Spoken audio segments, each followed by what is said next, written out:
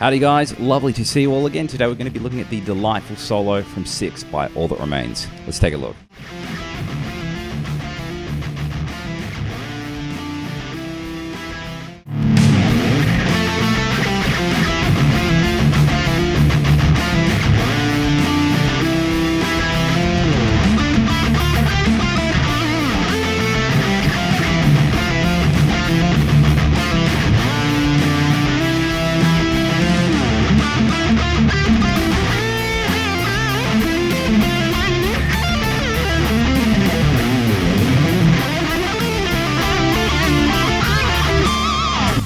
All right, guys. So before we get too excited, we just need to talk about the tuning, which is D standard, which goes D, G, C, F, A, D. So get yourself a tune, and we'll get started. All right, guys. So let's have a look at this little pre-solo riff that's sort of based around uh, some octave chords and some other funky things. I'm going to start off from nine of the fourth string and twelve of the second. So that's going to be our octave, and I'm going to go one, two, three, four. I'm going to do that four times and then I'm going to play an octave chord on 7 and 10, 5 and 8, and then 4 and 7. That was all on the fourth and second string, uh, respectively. So we've got this. After that, I work into this phrase. Let's slow that down. So I'm doing an octave slide from 5 to 4 back to 5 on the fourth string, and the first one I'm going to do two open uh, six string chugs in between. I do it again, but then I have four chugs, so we're to go one, two, one, two, three, four. And the next thing I do, I just do one slide back from five to four, and there's two chugs in between. So let's do that whole little chunk together. You can almost have it as dead notes if you want to, because that'll lead us into the next chunk. So let's have a look at what we've got from the start.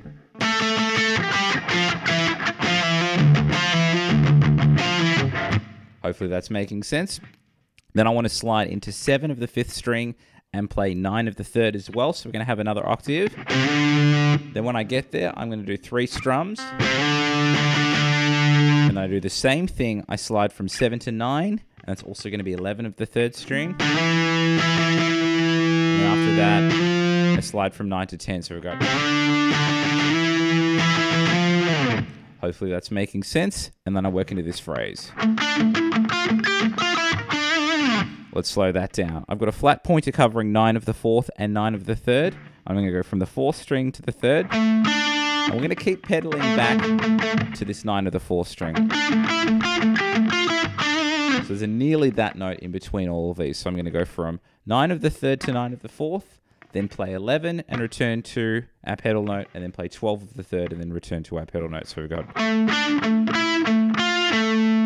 Okay, then I want to jump to 10 of the second string and then return to that 9 of the fourth again. At the end of that, back to the pedal note. What I had there was I was playing 12 11 and then I vibratoed 9 on the third string and then the whole thing starts again. So we've got. Then from that point, we go back to all the octaves. The only difference is this time when I go to this phrase,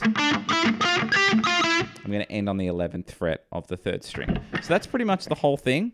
I'll do it all twice, but just leave out that note on the second group, and then we'll do it again even slower with some tabs.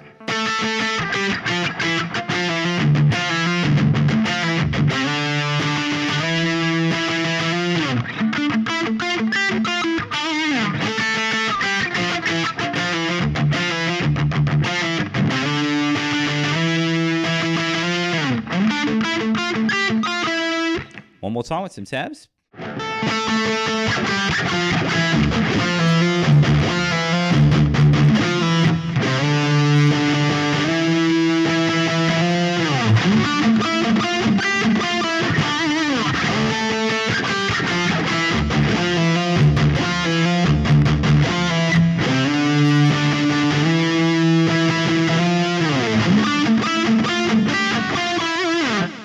All right, guys, so let's get to the second section, the actual meat of the solo. We're going to start off with this little phrase.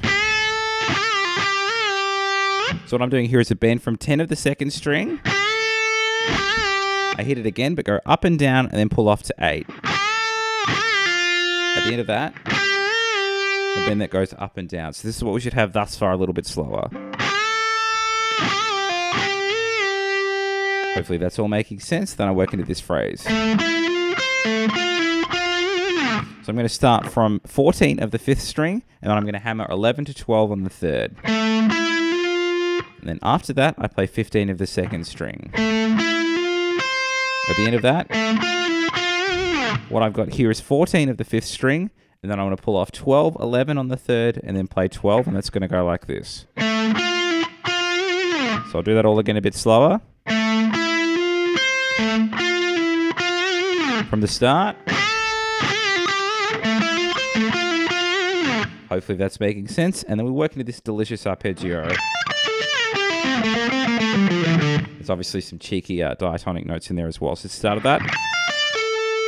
Straight minor arpeggio. If we're in uh, standard tuning, that would be E minor. I'm pulling off 19 to 15 of the first, playing 17 of the second, and 16 of the third.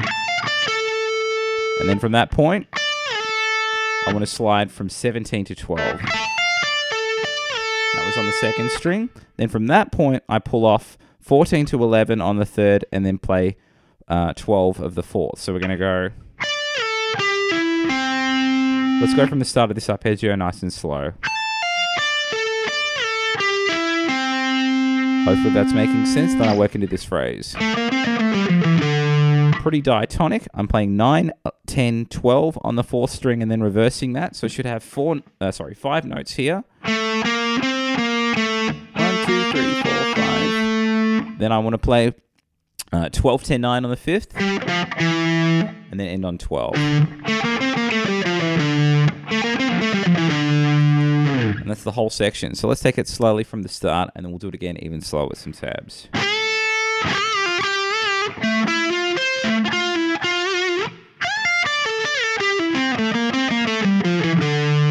One more time with some tabs.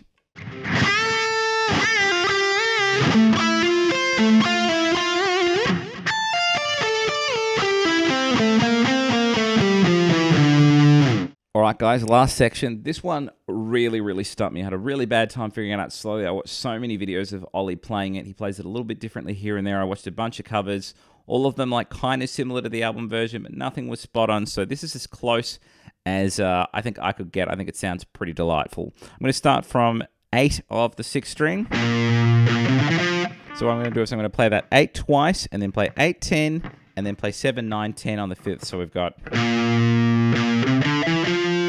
Then mm. from that point, I'm going to play 9, 10, 12 also on the fifth string. Then from that point, I'm going to do a string skip. So I'm going to play 7, 9, 11 on the third, and then 9, 11, 12 on the third. So from the start, we should have this. Then from that point, I'm going to play 10 of the second string. At the end of that, I've got a little bit of legato here, or you can just shred it if you want to. I sort of like to have a little bit of that um, legato emphasis. It does mix up sort of the straight staccato shred sound. So I've just played 10 of the second string, and I'm going to roll 12, 13, 12, 10 on the second string, and then go. So what I had there was uh, 12, 11, 9 on the third. So this is what we should have from the start.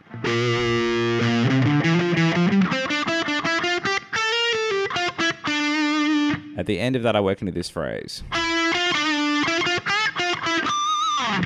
Let's slow that down. I'm going to play 11, 12, 9 on the third string. Then I want to play 11, 12 on the third string again, but do a slight bend on 10 of the second string. So after I've done that 10 on the second string, I'm going to play 12, 11, and then 9 of the third string. But add a cheeky pinch harmonic there. So we've got... Hopefully that's all making sense. That's the whole section. Let's do it again at a gentleman's pace and then even slower with some tab.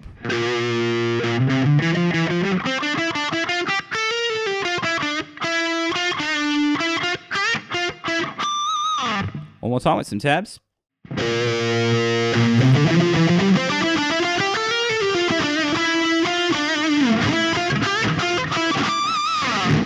And that was the solo from 6 by All That Remains. Hope you guys enjoyed that. Please like and subscribe if you haven't already done so. And please click the links in the description box to my Facebook group and my Patreon.